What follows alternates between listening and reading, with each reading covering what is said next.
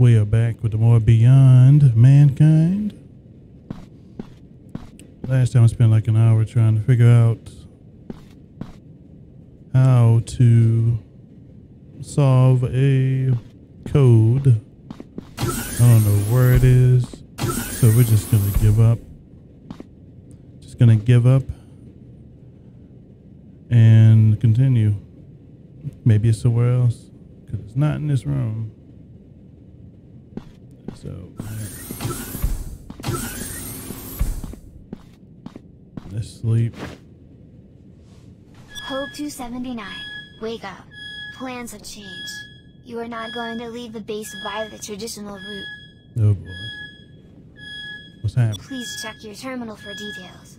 As soon as possible, you must go to the elevator at the back of the shooting range. Your fellow members left an hour ago, but were given orders to wait for you in the service tunnel. Oh, they left me, of course. So they left me. So, uh, check this out. Uh, number three. Changing training, incoming mission.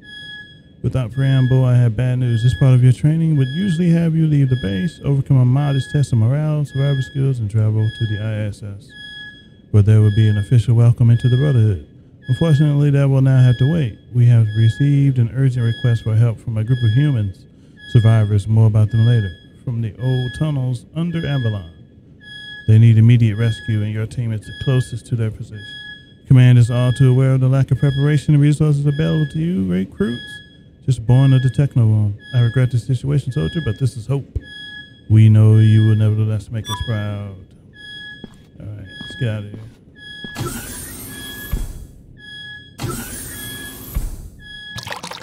Since I won't be back, I'm gonna go eat. Goodbye. Elevator. Take me wherever.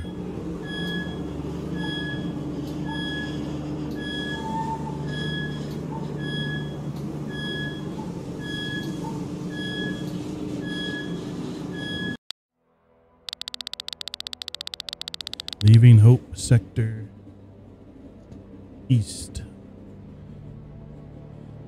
On to Avalon. Made it. So what's going on? You're at the southernmost exit of the base, an area from which tunnels extend below the old town of Avalon, on the island of Santa Catalina. Uh, I remember it's a tourist city. Was. You must not confuse your memories with the current times. Your memories belong to the 21st century. Currently, Avalon is just ruins. Through the 21st century Avalon grew into a tourist town and a vanguard of technological innovation. Uh, tell me more. In their moments of greatest splendor, the brightest minds turned the island of Santa Catalina into a sanctuary. But right now is not the time to entertain ourselves with history. In the tunnels, you will find an abandoned camp where an old diary was recovered. Since then, it has been revered and protected. By tradition, you should stop a few minutes and learn from the past. I guess this is goodbye, Hope 279. The moment you pass that gate, I will no longer be able to read you. Uh-oh.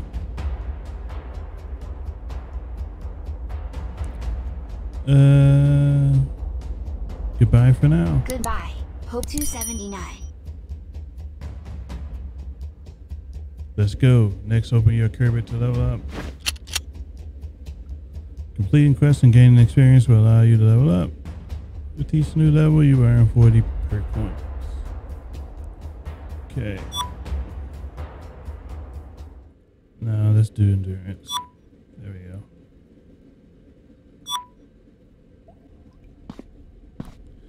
go. Okay. Got a new backpack.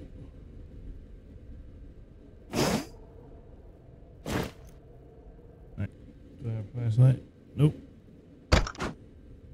Now we do. Um, first aid kit, some food,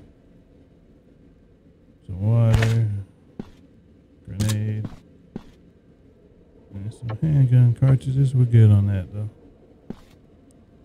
All right, let's go.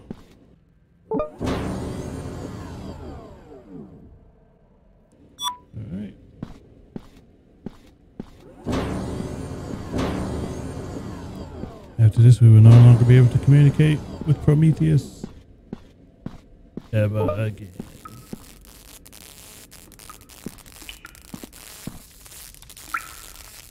G is for grenade. R reload.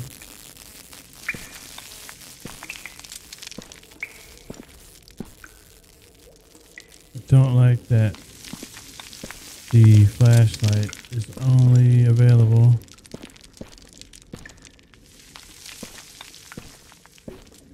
as its own thing.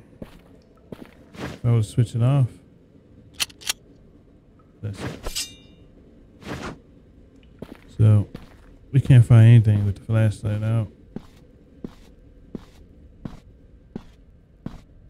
Let's hope we don't run into anything in this dark cave. Spider webs.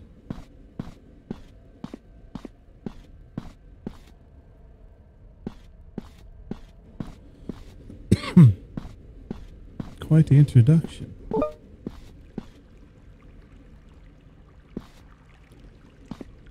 I already quick saved.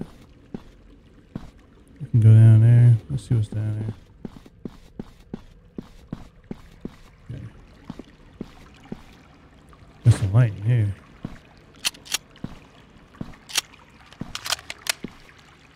Eh? Good stuff. There's some water.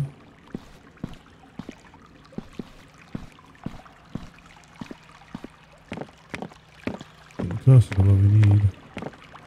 First page. First page is around the corner somewhere.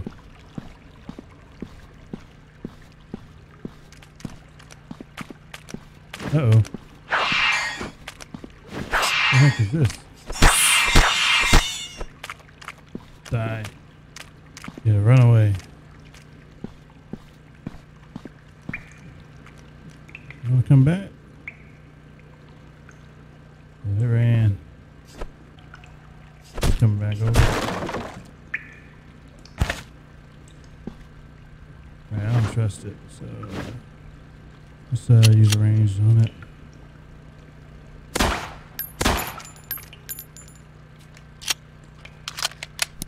Jesus Christ. Not even dying. The first diary. Unrest, crisis, rationing, protests, finally war. This is, there isn't anything else in the news. The National Guard was mobilized as resources were depleted. Ill-equipped soldiers paraded through empty streets. Two weeks later, only a few returned. They arrived vagabonds, decimated and shamed. Nuclear weapons detonate the biggest cities, and more will explode in retaliation, creating a curtain of shadowy dust over chastened earth. An eternal winter. I never thought humankind would end this way. Our blind faith in technology led us to believe that our species was immortal until a bastard branch of Homo sapiens emerged to rule over a ruined earth.